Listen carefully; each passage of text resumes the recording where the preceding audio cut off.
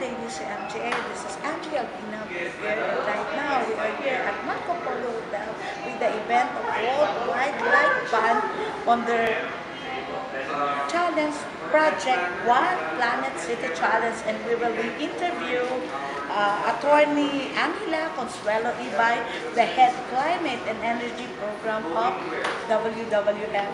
Also, we will interview the first timer on One Planet City Challenge, Edgardo M. Guya, the City Environment and Natural Resources Officer of Catbalogan City. So don't go away, watch out. Uh, how, how po ba nag-benefit itong, um, itong program yun na ito para sa mga winner na city at paano yung impact nito for the environment? Oo. So yung One Planet City Challenge is a uh, um, biennial competition um, that stems from the One Planet Cities concept ng WWF. Um, so ang Philippines po, nag-join po tayo in 2015. So second run na to, yung 2017-2018. Ito yung second leg. Um, second run na po siya. So twice na siya nangyayari sa Philippines. Um, kasi every two years po siya. And um, Ah, every two years, every hindi siya Hindi siya, yearly. hindi siya yearly. So for for 2017-2018 po, na na-run, we have eight cities from the Philippines who expressed their intention to join the One Planet City Challenge. And um, basically, by joining, they actually show their commitment to be really, to show that may ginagawa po yung syudad namin. Um, and um, they report their initiatives, their actions, their plans um, into the carbon platform, which is part of the One Planet City Challenge. And by reporting that, um, what they're seeing now is that dami mo lang nilang ginagawa. Sometimes for some cities, ang feedback namin na they don't realize that they're doing so many things. They are not aware. Uh, hindi naman sila not aware, but because they're doing so many things, holistically, hindi nila nakikita na, ah, may posible may overlap, or pwede pala ma-duplicate. ma- oo, duplicate, or maybe we- they can strengthen some of the components. So, the, the uh, One Planet City Challenge provides a platform na nakikita nila more holistically. And then they realize um, how to do it better also. So, um, by, by also reporting into the platform, they also get feedback from us and from ICLE Southeast Asia, how, how they're in, especially for their greenhouse gas inventory, how to make it better, how they can report it better, saan nila pagkukuhanan yung data, kung nahihirapan sila. And they also learn from each other. So the benefits that the city get is not Parang may just knowledge may sharing. knowledge sharing din ho to. And it's not just knowledge sharing among Philippine cities because since it's a global competition, they also learn from other cities from ab- abroad. There, so far, there are 30 countries, uh, 33 countries that have joined OPCC with, with over 50 plus um, cities uh, around the world. So, but yan pa lang yung sa finalists. So, they're learning a lot from each other and also they're bringing back to the Philippines what their knowledge is. And hopefully, because of that, the cities who join the OPCC can also help other cities um, reach towards a sustainable future. From this year po, ah, yung top one is the Jakarta, then ah, global, second for clarification. Ay, hindi po. Bali, is- bali yung, o- yung One Planet City Challenge, meron siya yung main challenge, but there's also yung um, part of that is a related social media campaign, which is called the We Love Cities campaign. So for the three finalists, or whoever becomes finalist in the in the One Planet City Challenge, they have the opportunity to join the We Love Cities campaign. And in the Philippine cities, they're able to engage their citizens, their residents, the locators in their in their city, in their area to vote for them. And for us in WWF, we promote all three cities para ayun, yung fairness in terms of trying to get also our own um, supporters to support the Philippine cities who become finalists. So dun sa We Love Cities, magkakaroon siya ng nagkaroon siya ng We Love Pasig, We Love San Carlos PH, We Love Makati, kasi sila pa yung tatlong finalists. And globally, um, all of these finalists vie. And um, um, when they tallied the votes, the Jakarta won the We Love Cities campaign. Ah, kasi sila yung pinakamadaming um, votations, interactions, um, suggestions also on, on social media. But Pasig was the second. We found out also. So parang ibig sabihin, malapit na tayo doon na we're getting people to also see, be aware na, oh, may mga cities tayo na we can actually get behind with because naniniwala tayo dun sa syudad na yun. Dahil Talaga sinasabi nila yung ginagawa nila at nire-report nila. They're I- very vocal yeah. for that. Oh, so I think the one of the benefits again of OPCC is really the accountability. Meaning, because we this is not just like you join for the sake of joining, but you have to commit. The city when they join when they join the OPCC, they have to be committed um, to go through the process. Kasi hindi lang siya yung nag-submit lang kami ng oh, join kami, portfolio join kami, tapos na. Hindi, kasi ito, proseso siya. They, the city has to send us their letter of intent, and then when they send us their letter of intent, there's a process of capacity building that we give and work with the city. Depende sa needs nila. And then, based It's on for that, free.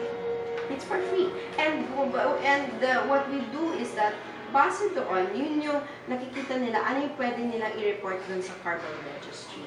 And because of that, they have to ensure na what they report is the actual thing that they're doing because the international jury is very, very, um, ano, um, talaga tinititingnan nila yun. It's, it's also not just say, we have a plan but you're not doing it. So you have to also, in a way, walk the talk.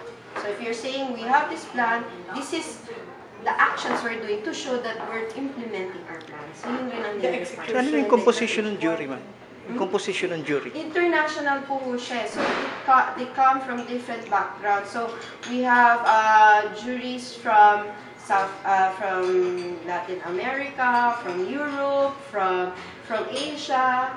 Um, their backgrounds involve um, working C, like C40, which is the organization, the coalition for mayors, um, the Global Compact of Mayors. We have from ICLE, we have from ABB, we have from the World Economic Forum. So their backgrounds involve working with city development, urban development. They're working on transport. They're working also on um, carbon registries, um, climate disclosure projects. So iba-iba yung ano. Some are architects, social media, and also um, uh, what's this, uh, technology experts as well. So we can give you a list of the international jury um, because there's the I would think they're finalizing na who will be the global global winner and the awarding ceremony will be in September at the at the Global Climate Action Summit in San Francisco, USA, California, USA. Thank you. Thank you. Yes, uh, congratulations and uh, good day po, Sir Edgardo Guya, the City Environment and Natural Resources Officer ng Catbalogan City na ngayon ay first time dito sumali sa One Planet City Challenge. Sir, ano pong lesson nyo na-learn nyo dito at uh, bilang uh, uh, ENRO officer po, paano po natin magkakaroon ng climate change mitigation sa inyong lugar sa Catbalogan? Okay po. Ang daming ex- uh, learnings na nakuha po namin dito sa uh, OPCC na to, One Planet City Challenge. Kasi uh, it opened doors to us sa napaka raming issue ng environment na kailangan palang i-implement sa city. So one example for that is ano, yung sa carbon emission, Emission. isa yon. Tsaka lahat meron tinatawag natin sa agriculture, sa waste, sa industry, sa mga technologies natin, ah, sa transportation pala, ah, and so Yung on and so forth. Ang oo. dami. Opo, opo. Okay. Opo. Ah, sir, ah, kasi every two years ginagawa to ng Worldwide Fund. Yung itong WWF. Ah, next year, ah, after two years, ay challenge pa rin po ba kayong mag-join ulit dito sa OPCC na ito? Hindi naman po masakit yung challenge na ito. Ah, sasali din po kami. Ah, parang nagiging gauge din po namin ito, measurement kung saan na kami. An, ah, parang tool din ito para na nakikita namin kung saan kami patungo, saan yung direction namin, at saka yung status namin ngayon, ano na kami sa ano na to sa sa contest na to. Ah, sir, ah, may final ah, may final questions po.